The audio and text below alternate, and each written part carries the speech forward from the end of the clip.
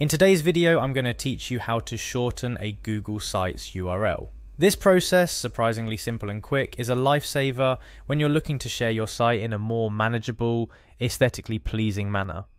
Whether it's for professional presentation or simply for ease of sharing, by the end of this walkthrough, you'll be fully equipped to turn those lengthy URLs into short, tidy links.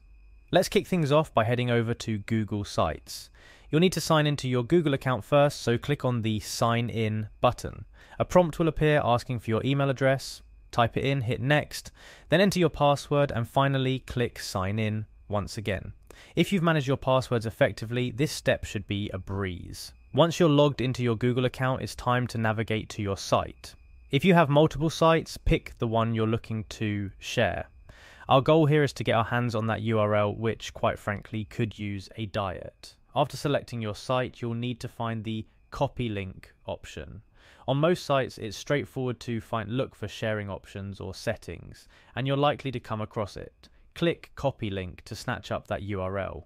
Now with the link copied to your clipboard, it's time for the magic to happen. We're going to shorten this URL, navigate to a URL shortening website, for this tutorial we'll use tinyurl, but there are several others out there that work just as well. Once you're on the tinyurl site, you'll see a field to paste your long, cumbersome link.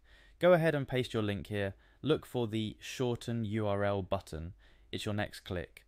With a simple press, tinyurl, or whichever service you've chosen, transforms your lengthy link into something far more manageable.